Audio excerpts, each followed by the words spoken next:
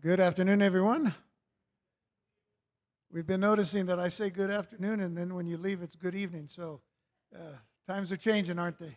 So good to have you all with us. It's uh, you're at Calvary Chapel of El Paso, and we welcome you. Those of you that are here, we ask that you would please stand, and if you're able, and those of you that are watching on uh, on the live stream platforms, we also welcome you to our service this evening. Just please join us in a word of prayer. Father, we are thankful and so blessed to have this opportunity to come and to lift up our voices to you in praise and thanksgiving to the God of our salvation, to the God of our very lives that has given us breath and, and purpose and meaning. And, and today you're able to receive from us, Lord, the gratitude that we have in our hearts for all that you've done for us. And we're thankful to, to offer it to you today in praise, in uh, fellowship, to offer it in prayer, and in the time of uh, learning and growing in your word. Thank you so much, Father, for all that you have done for us. And Lord, we, we couldn't thank you enough. You're worthy of all that we are and all that we have. And we offer ourselves to you now. In Jesus' name. Amen. Amen.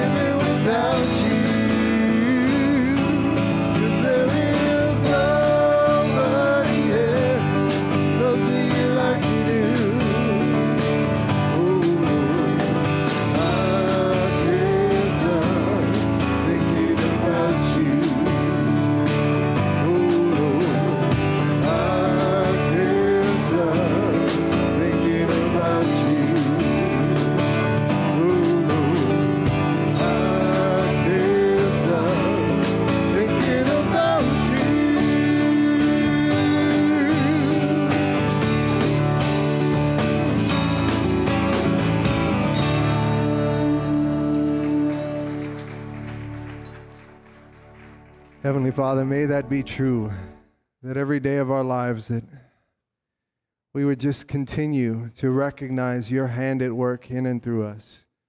Lord, that we would recognize that every good and perfect gift has come from you.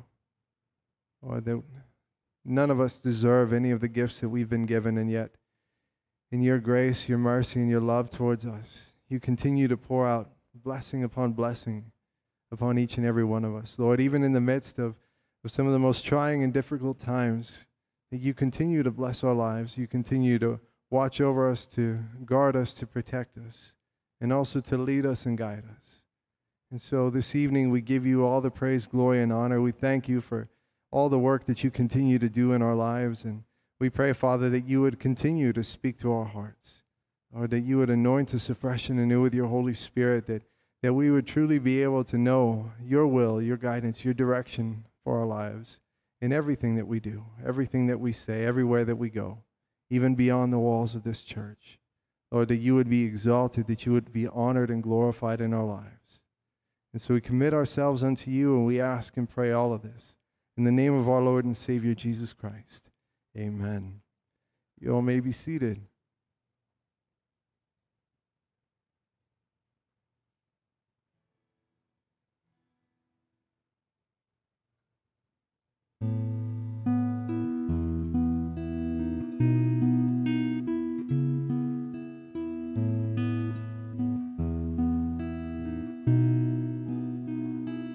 Bless the Lord, oh my soul, oh my soul, worship his holy name. Sing like never before, oh my soul, I'll worship your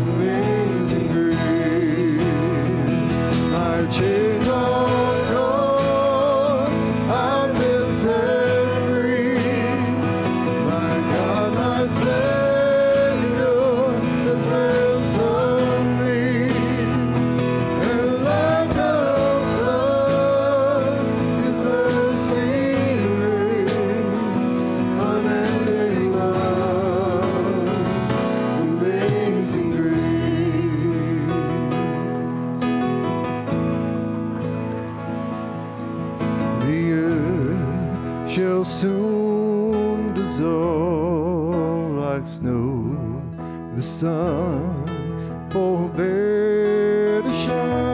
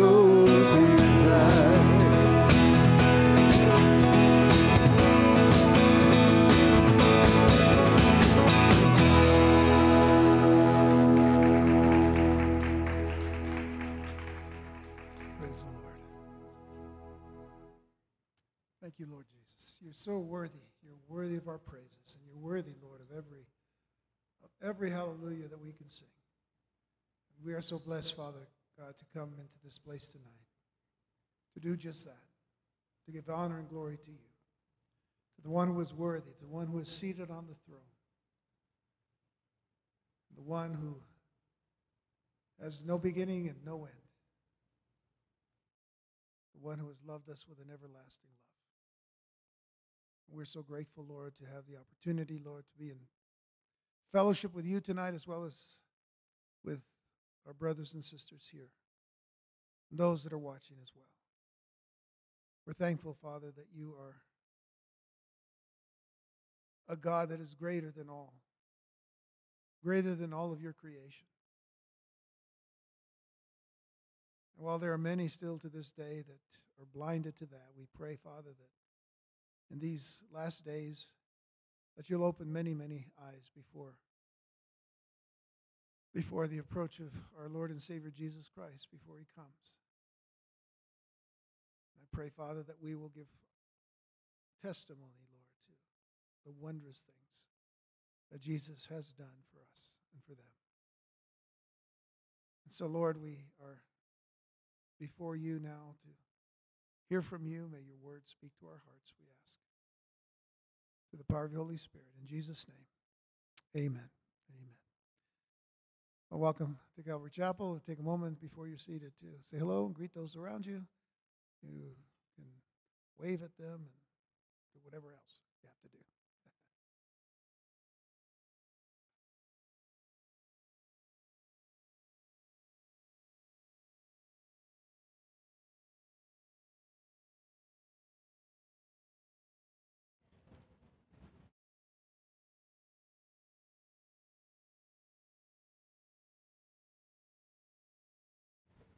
Good evening. Wow, it's really hot. Uh, just a few brief announcements. Um, the first one, um, some of you may know Neva and Richard Aguayo. Um, Neva passed away last Sunday, either shortly after or, or right around the time of the Sunday morning service. And so please continue to be in prayer for the Aguayo family. They have uh, several family members that have flown into town, and the memorial service is going to be held tomorrow, or actually Monday, I'm sorry, Monday at noon, and it will be right next door at Mount Carmel. So if you would please just keep the family in your prayers, for those of you especially that, that know the Aguayos, if you would please just continue to support them, and, and you can attend, uh, as I said, Mount Carmel on Monday at noon. Um, the next thing is early voting has already started in Texas. Um, I've seen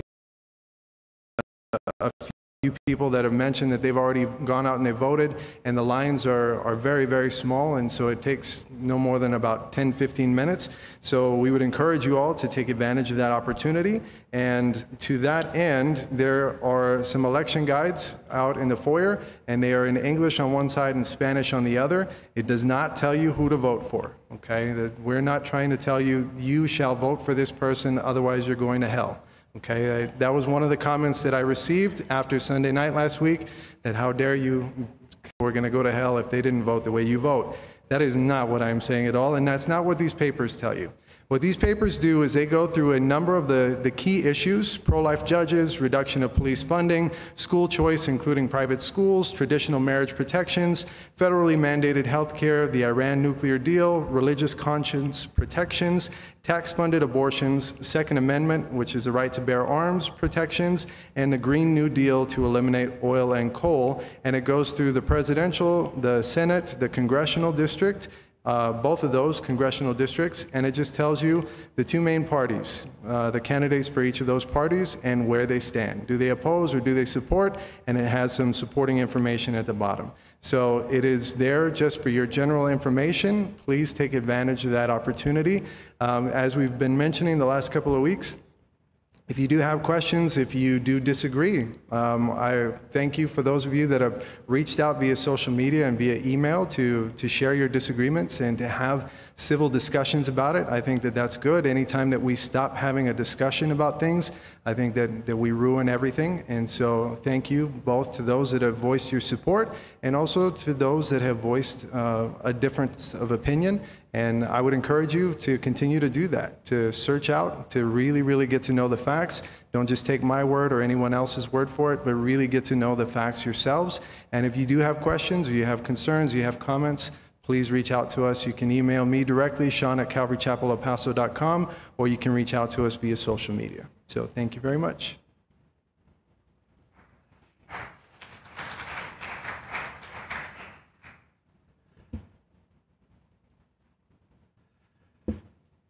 Okay. Before we begin our study, I wanted to share something with you all that uh, I think all of us have a, a concern about. Uh, you know, we've recently seen a spike on a spike in uh, COVID uh, activity in here in El Paso, uh, rising. Uh, number of people, a lot more people are going to hospital, you know, to because of it. And I think that um, you know we need to always take that very seriously. I think we have to be well uh, aware of what's going on. I think that um, you know we we're, we're wise people. God made us to be wise to do the right things that we need to do, you know, to keep ourselves uh, certainly clean, washed, and, and so on and so forth, using, you know, whatever means necessary. I don't appreciate sometimes the way that our own city and county health officials seem to be always making it seem like we're the ones that are making all the mistakes. We, you know, COVID is a problem. The, the COVID 19 virus is, is something that we're still trying to figure out how and what it is. You know, I've considered it to be a, a very manipulated type of a thing, but, you know, aside from all of that, it's still a problem. And we still have people close to us, uh, many of us, uh, uh, that have uh, been affected by it. So we certainly want to keep them in our prayers, and we want to do the right thing in, in uh, how we approach that. But I also feel it is necessary for us as believers in Jesus Christ to know what God has said in, uh, in His Word. And uh, a, a dear friend of mine that uh, uh, lives in Wisconsin sent this out on Facebook, and I saw it this morning, and I thought, you know, I, I need to share this with, with you all. And it's just a picture of a, a silhouette of a girl looking out. I think it looks more like in France than any place else, but looking out a window, and underneath the picture it says, COVID 19 is not your enemy. Fear is. You will not die one day sooner or one day later than God has planned for you. But He did not create you to live in fear. The Bible says God has not given us a spirit of fear, but of power and of love and of a sound mind. And I think that every believer in Jesus Christ needs to always come back to that. Come back to those things that, that God wants us to be in this time, in this uh, era that, we, that we're facing. And I, and I uh, just encourage you all, you know, to uh, take that opportunity to search the scriptures. You know, we have since the beginning of, of the uh, lockdown and, uh, and all the things that have happened over these many, many months, always focused on the very fact that uh, we have a God that's greater than COVID 19. But He's greater than all of the diseases that we have to face. And there's a lot of them. And, and so, you know, we, we uh, need to remember what God has placed us on this earth for, what He's placed us on this earth to do to be a light, to be salt, to be a testimony and a witness of the gospel of Jesus Christ, a witness of the cross of Christ. And so I encourage you to do that and, and to pray and to continue to uh, do everything that uh, uh, the Lord has called us to do, to be a witness to th- those that are in fear so that they can come to faith in Jesus Christ. I'd like to have you turn to Mark chapter 2, verses 18 through 22. That is our text this evening.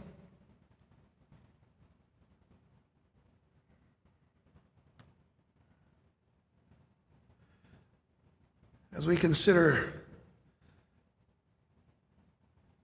what I call the parable of the wineskins, though uh, it isn't called that in the text here.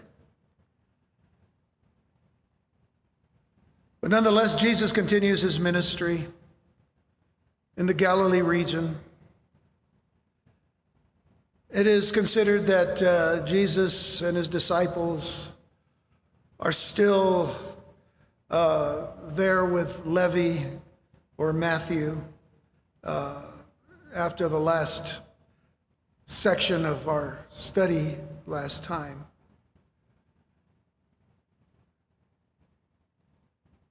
When Jesus sat with the publicans and the sinners and was confronted by, by the scribes and the Pharisees.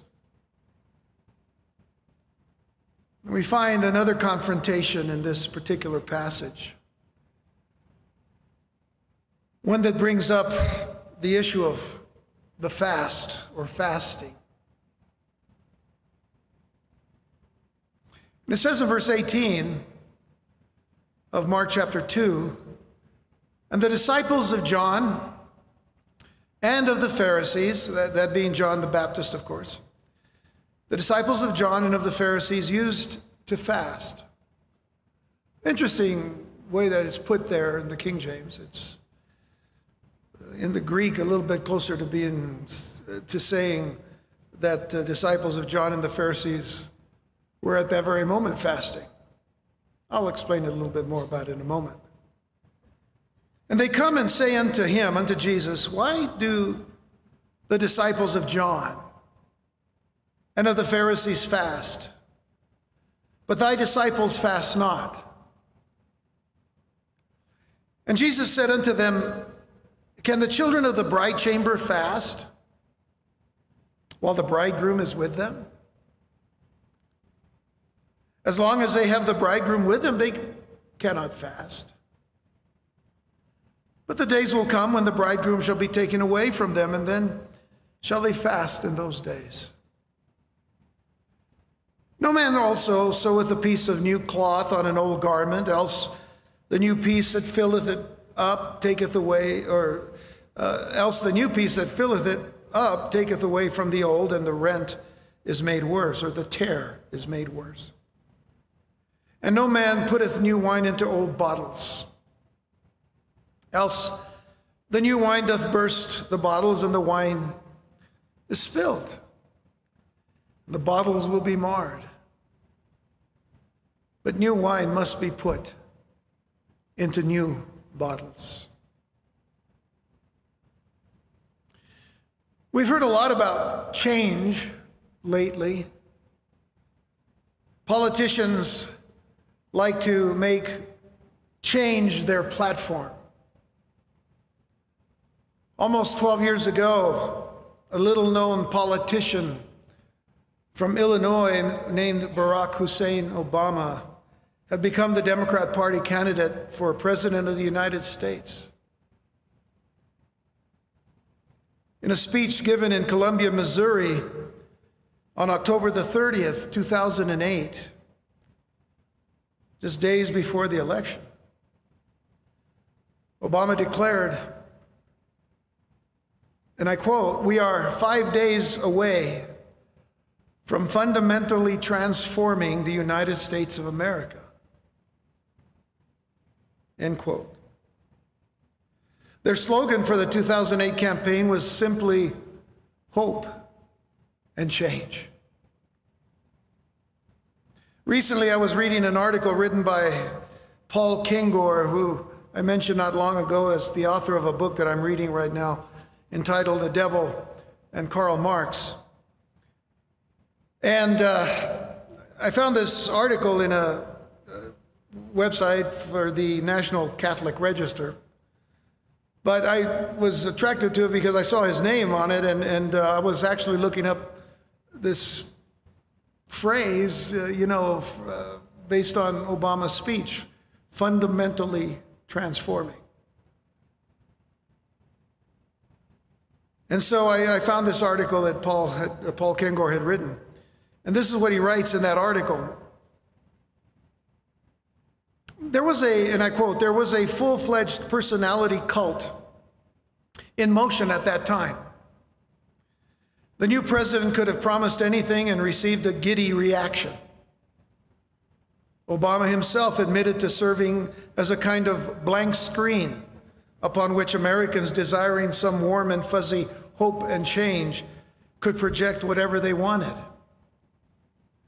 But even then, the words fundamentally transform should have alarmed everyone. We Americans generally don't do fundamental transformation. We make changes, yes, small and large, but who among us, other than the most radical revolutionaries, actually want to fundamentally transform the nation? End quote. Kengor went on to say that uh, after speaking with and reading uh, a number of political scientists and professors in that particular field, that most of them would say that totalitarianism is the ideology that fundamentally transforms. Totalitarianism makes you wonder where half of the country is heading today. And much of what we saw in the agenda videos a few weeks ago pointed to the fundamental transformation of this nation during that administration. Now, I mention all of that because of this word change. Transformation is a radical change, but it's a change nonetheless. And as much as we are, as much as we hear people calling for change in our country practically in every election cycle, it's interesting that change is one of the hardest things for us to cope with, especially when we're dealing with our deepest held traditions. There are some things that we just won't change. Change sometimes makes us uncomfortable. I would venture to say that more than 75% of people in the, in, in the United States at some point in time would say, I don't like change. Others would say, This is the way I've been all my life, and this is the way I'll die.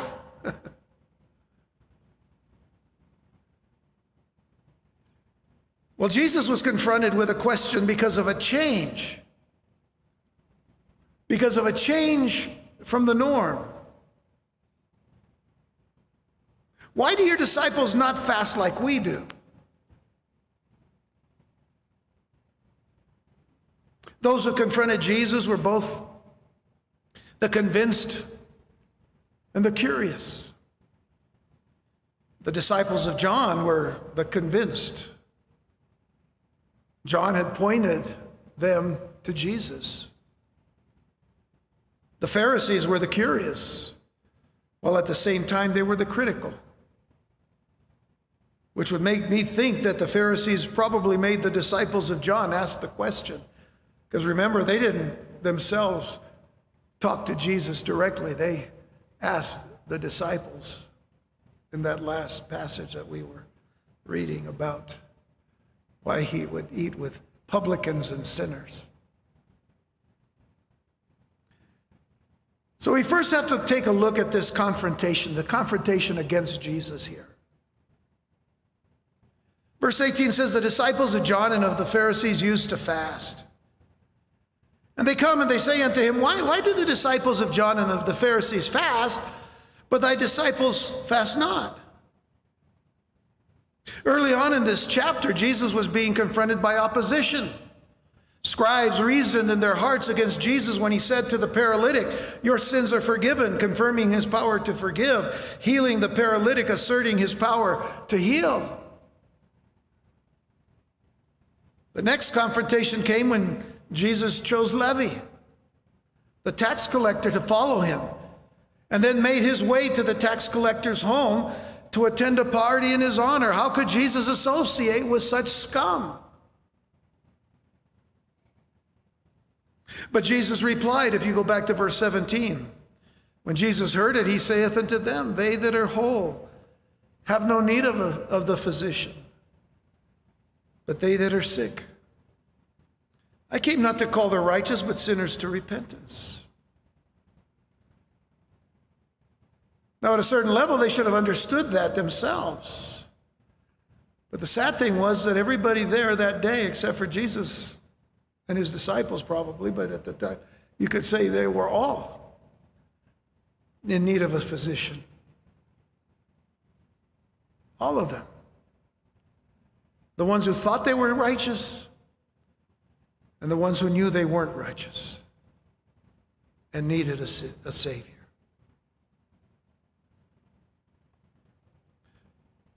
So, again, more than likely, during this same gathering, party, came the question about fasting.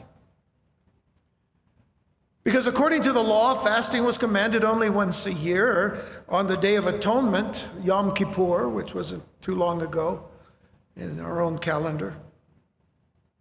But it was the national day of repentance and forgiveness.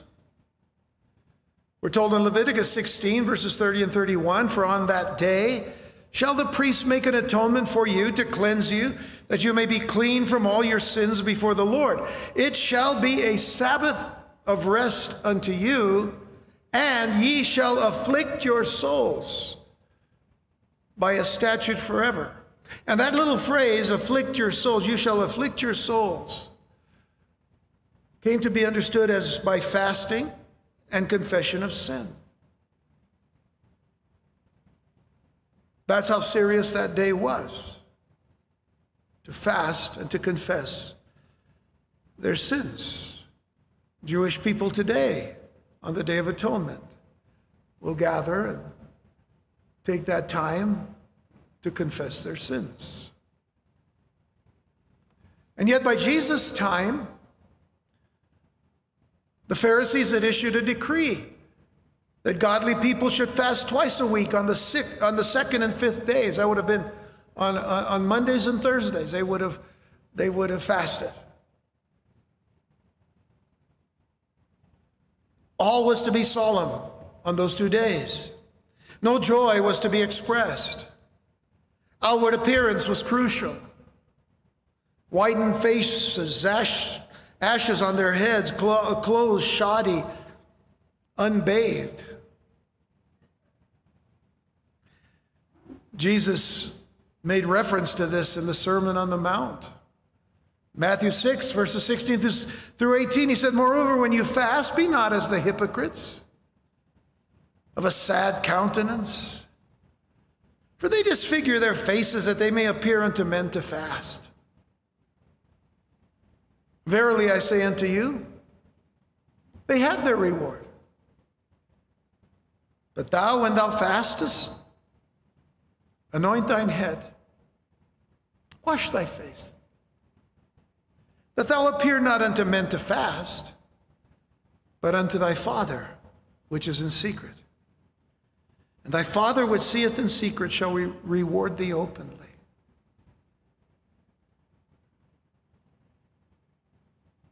That's how easy we can move from relationship to religion. do things from a religious aspect rather than from the relationship that we have, a relationship that is supposed to be a joyous one with the Lord. And there are times when we pray that we need to be very focused upon the Lord.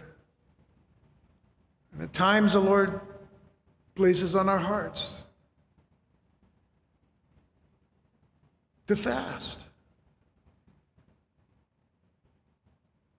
Not always necessary, but we make that choice, we make that decision to be clear headed about the things that we need to hear, uh, clear hearted as well. To receive from the Lord wisdom grace, understanding.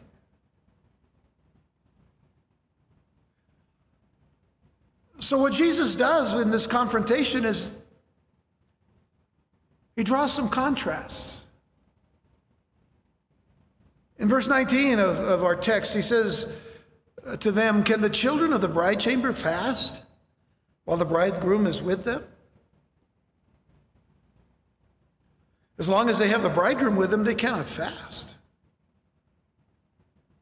But the days will come when the bridegroom shall be taken away from them, and then shall they fast in those days.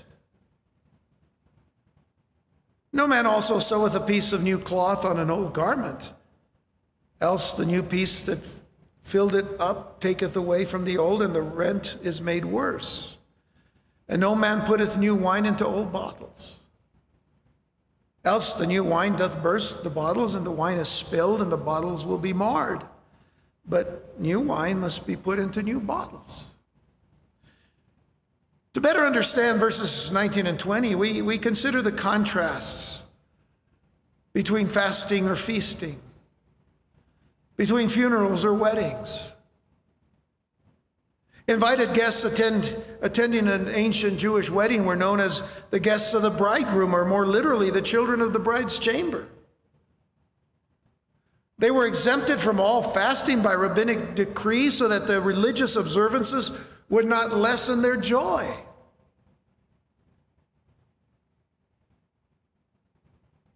The wedding was to be a joyous occasion.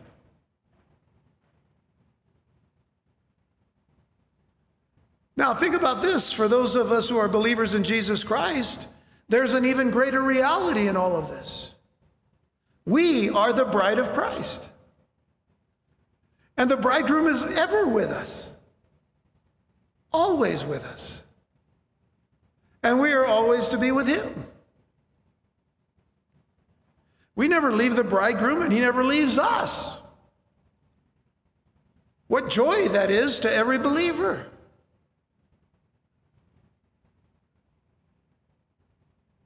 In this particular instance, you know, we can say, well, we cannot fast because we're with the bridegroom and the bridegroom's with us. And we're enjoying this wedding feast with him. What joy that is to every believer. How can, how can you not be overjoyed when you hear, for example, Deuteronomy 31, verse 8? Now, this is Old Testament. This is the law. But yet it says, in the Lord, it is He that doth go before thee. He will be with thee. He will not fail thee, neither forsake thee. Fear not, neither be dismayed. He will be with thee always. He will not fail thee. Never. Neither forsake thee. Don't think of it. Fear not, neither be dismayed. Later on in Joshua chapter 1, verse 9, we read, have, have not I commanded thee, be strong and of good courage, be not afraid, neither be thou dismayed. For the Lord thy God is with thee, whithersoever thou goest. Wherever you go, he will be with you. How much greater is that truth and that understanding to every believer in Jesus Christ? Jesus himself said, I'll be with you always, even to the end of the world. I will be with you always. How can that not encourage our, our hearts to trust in him now, in this day, in this hour, in this time? Now, understand that fasting was not abolished by Jesus, but was put in its proper place. Because as he said in the text itself, he said, while the bridegroom is, you know, that the, can the children of the bridegroom fast while the bridegroom is with them? As long as they have the bridegroom with them, they cannot fast, but the days will come when the bridegroom shall be taken away from them, and then shall they fast in those days. And we consider when Jesus is taken.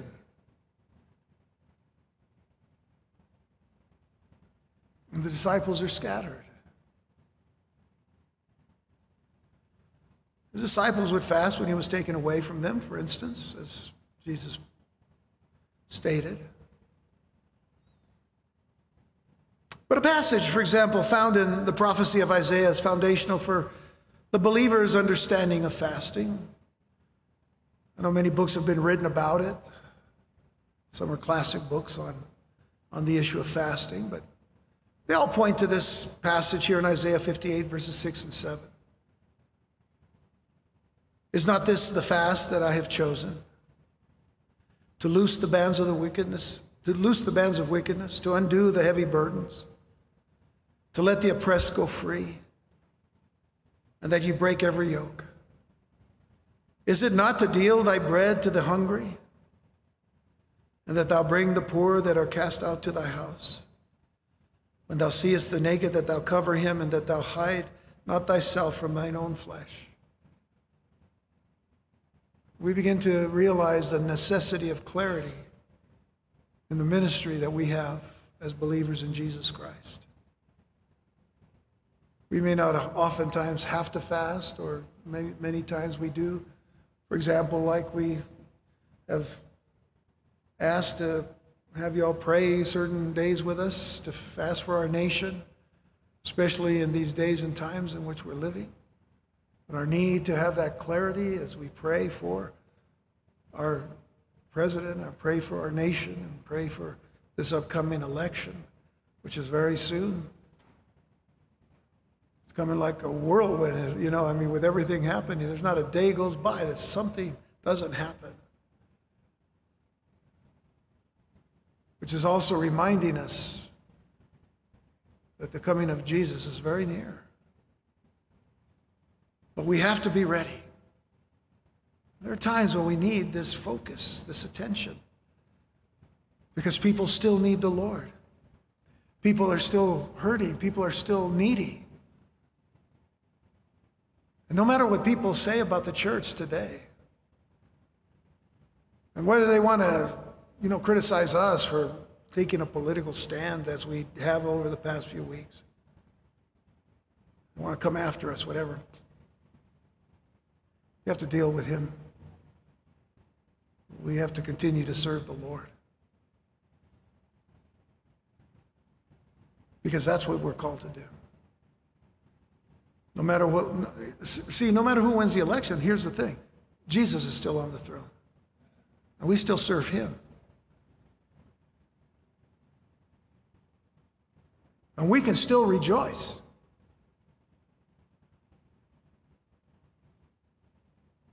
But there are times when we need that clarity. Now, from the issue of fasting, I'm not here to talk about fasting today, but from the issue of fasting, Jesus moved on to the issue of fabrics. When he said in verse 21, No man also seweth a piece of new cloth on an old garment. Else the new piece that filleth it up taketh away from the old, and the rent or the tear is made worse. And what Jesus was saying is that there are fabrics that cannot be interwoven. The new fabric of Christ with the old fibers of religion is what he's really getting at. It might have been considered to mix the best of Pharisaic Judaism with the best of what Christ had to offer, but, but Jesus exposed the folly of that. An old sail patched with a new cloth, when exposed to the elements, would have, have a far greater tear because the new cloth would not have been shrunk and would have simply rip apart. And let's not forget that they were certainly near the Sea of Galilee, and most of the people would have understood what Jesus was getting at, especially the sailors and the fishermen there, when he deals with that very issue. Why would they sew a piece of new cloth together if it wasn't for their sails?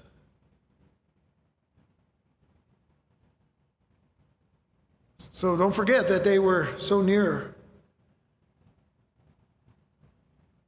the sea when Jesus went and said to Levi, Come follow me. Then Jesus would say in verse 22 And no man putteth new wine into old bottles. Else the new wine doth burst the bottles, and the wine is spilled, and the bottles will be marred. But new wine must be put into new bottles. the skins of goats were usually used as wineskins. They were stripped off as whole as possible and partly tanned so that they could be filled with new wine. Because they were naturally elastic and strong, the, the skins were best suited to handle the fermenting new wine, which would cause the skin to expand. The more the wine fermented, the more it would expand. And yet, if new wine were put in the old brittle wineskins, the fermentation process would burst the skin and the wine would be lost. The new life that Jesus Christ brings is one that expands and grows and can only do so in new wineskins. New wineskins, not old wineskins. Once the old wineskin becomes old and brittle, you don't want to put any new wine in it. It will stretch us to new limits and fill every aspect of our lives. But this cannot be done in an old wineskin.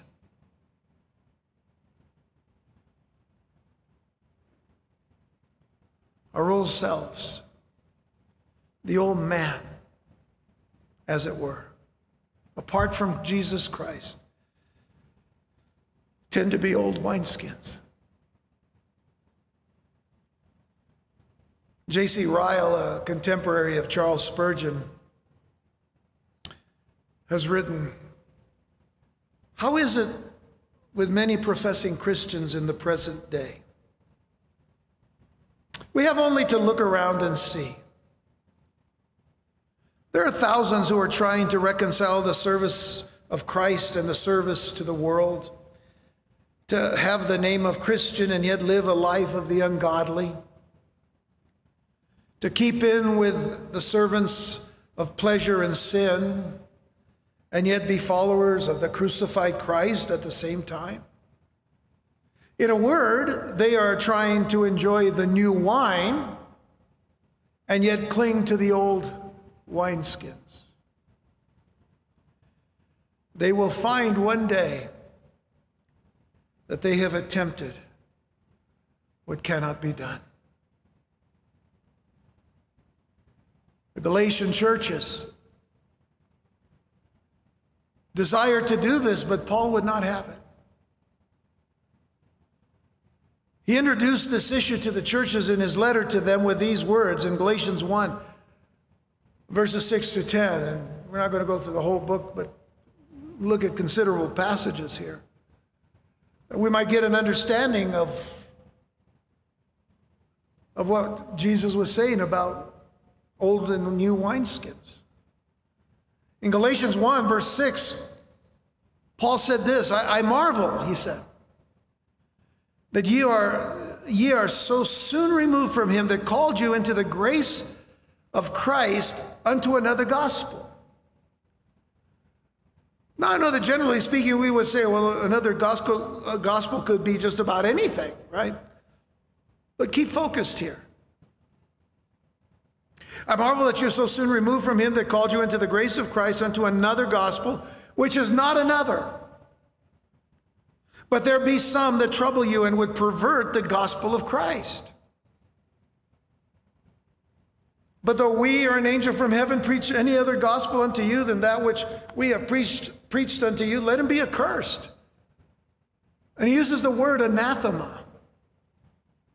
Let him be anathema, let him be cursed. That's a strong statement that Paul is making here. And then he, he goes on, he says, As we said before, so say I now again. If any man preach another gospel unto you that you have received, let him be accursed. Repetition, saying something twice, Strong emphasis. These churches were letting in another gospel. And Paul wasn't being easy. Let him be accursed if they bring in another gospel. Then he says, For do I now persuade men or God? Or do I seek to please men? For if I yet please men, I should not be the servant of Christ. So that lays the foundation then to where Paul is going in all of this. For in chapter 2, the terms the uncircumcision and the circumcision now are used by Paul to make an even clearer distinction figuratively between new wineskins and old wineskins. He would then write in chapter 2, verse 15 of Galatians, We who are Jews by nature, and not sinners of the Gentiles, knowing that a man is not justified by the works of the law, but by the faith of Jesus Christ, even we have believed in Jesus Christ, that we might be justified by the faith of Christ and not by the works of the law. For by the works of the law shall no man be justified. So now we get a clear sense of who he's speaking about here and who's trying to make another gospel. Verse 17, but if, while we seek to be justified by Christ, we ourselves also are found sinners, is therefore Christ the minister of sin? God forbid. For if I build again the things which I destroyed, I make myself a transgressor. For I, through the law, am dead to the law that I might live unto God. And that is when he says, I am crucified with Christ. Nevertheless, I live. The emphasis here now, when you put all of that context together, is we must be dead. The old man, crucified with Christ. Nevertheless, I live, yet not I, but Christ liveth in me. And the life which I now live in the flesh, I live by the faith of the Son of God, who loved me and gave himself for me. I do not frustrate the grace of God, for if righteousness cometh by the law, then Christ is dead in vain. If righteousness comes by the law, then I could use my old wineskin anytime I want.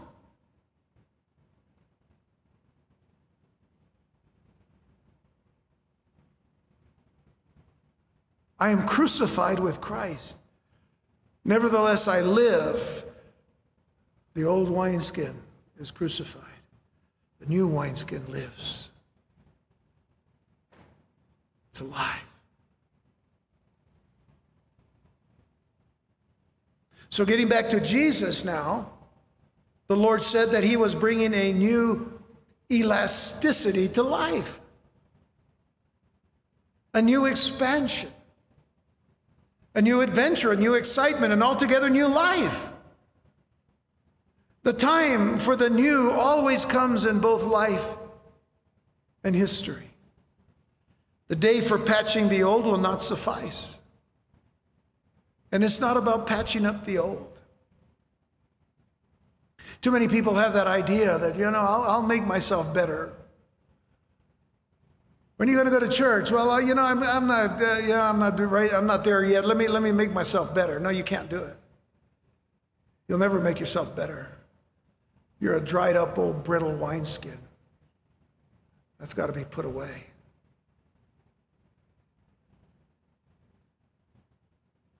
A new beginning and a new life must be launched, or else the person faces uselessness, extinction, extinction or death. Man himself will die in the old garment of his flesh unless he comes to Christ for a new beginning and a new wineskin. And by the way, a wineskin that will never grow old. a wineskin that will continue to be filled and expand in the mercies and grace of our Lord Jesus Christ. If we are to struggle in anything, if we are to struggle in anything, we are to struggle against becoming set and fixed in our own ways. Paul would tell the Ephesians in Ephesians 4, verses 17 to 24, he said, This I say, therefore, and testify in the Lord, that ye henceforth walk not as other Gentiles walk, in the vanity of their mind, the worthlessness, uselessness, and emptiness of their mind, having the understanding darkened, being alienated from the life of God through the ignorance that is in them because of the blindness of their heart. Who, being past feeling, have given themselves over unto lasciviousness, to work all uncleanness with greediness. Lasciviousness has to do with lust. But you have not so learned Christ. If so be that ye have heard him and have been taught by him, as the truth is in Christ or in Jesus, that you put off concerning the former conversation the old man, the old wineskin, which is corrupt according to the deceitful lusts, and be renewed in the spirit of your mind, and that you put on the new man, the new wineskin which after God is created in righteousness and true holiness. By the way, not by works of righteousness which we have done, but according to his mercy. He has saved us. And he has covered us in the righteousness of Christ Jesus. And lastly, and I know it's early,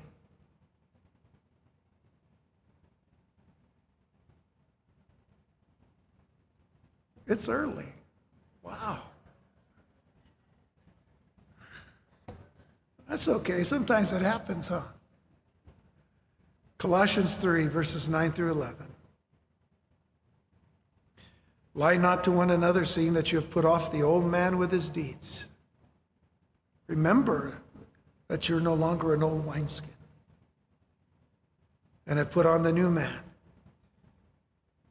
Literally, it says you've put on the new a new wineskin, which is renewed in knowledge after the image of him that created him, where there is neither Greek nor Jew, circumcision nor uncircumcision, barbarian, Scythian, bond nor free, but Christ is all and in all. Christ is all. And so, Jesus, in a very brief statement,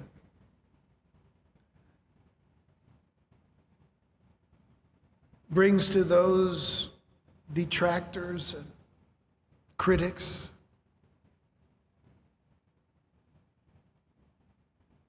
the proper way of seeing the law and the prophets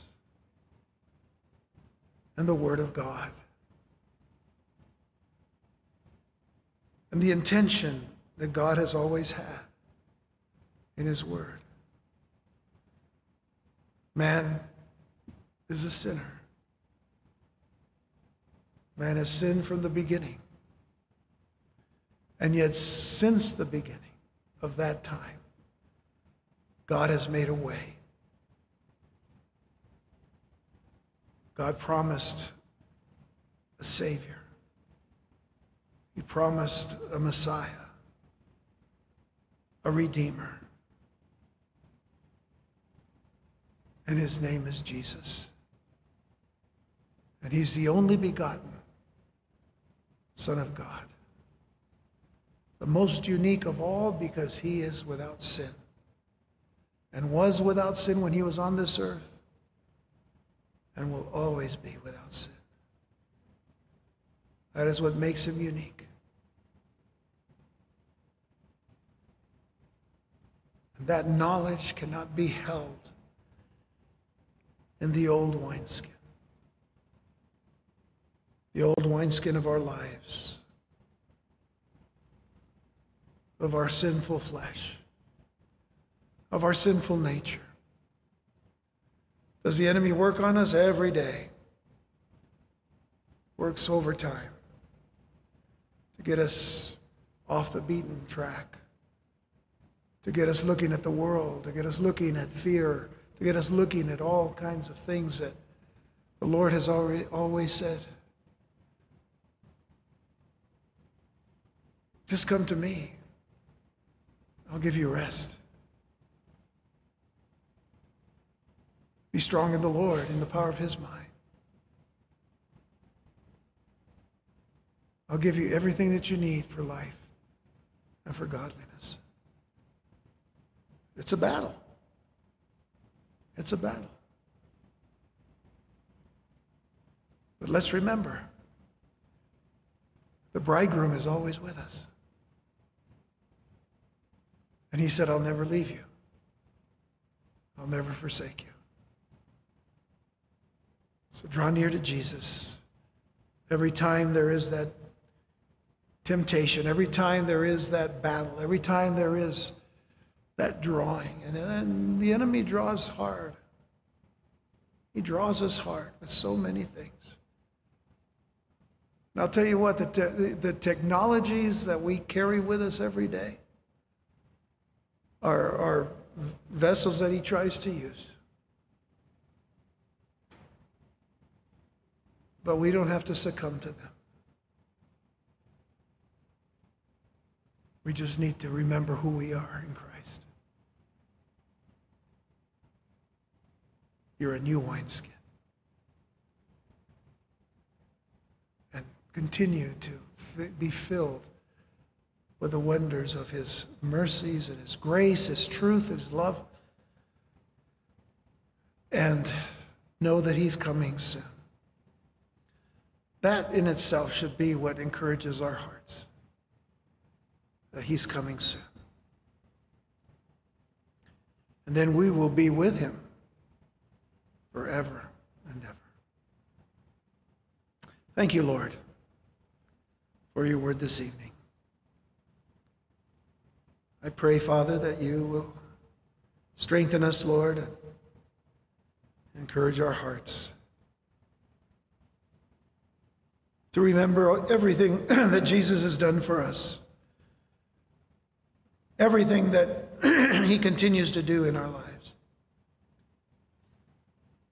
And I would ask, Father, that we would take the time to meditate upon these things throughout this week, to remember the importance of, of the new man, the, the new person that you have made us in your Son, our Lord and Savior Jesus Christ. Bless us, Lord, as we face the trials and the temptations, as we face the challenges of this coming week. Even today, they might even raise their heads before we even get to the new week. So we entrust ourselves to you, Lord. We pray, Father, that you'll fill us with every goodness, with every mercy, with every truth, and with every word that proceeds out of your mouth. In Jesus' name, amen and amen. Shall we stand?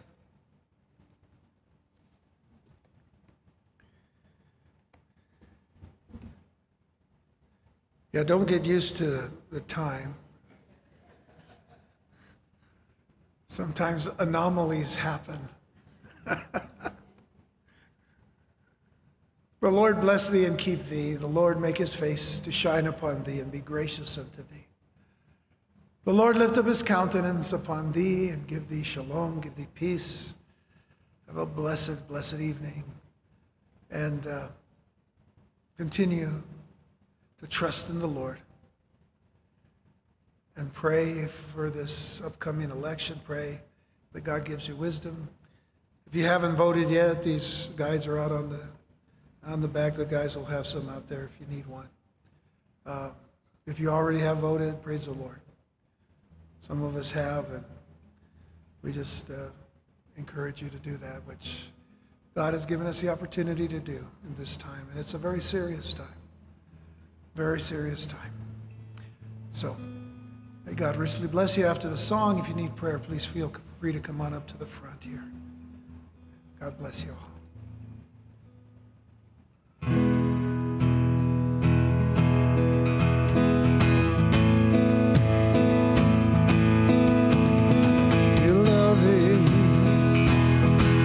Your breathe.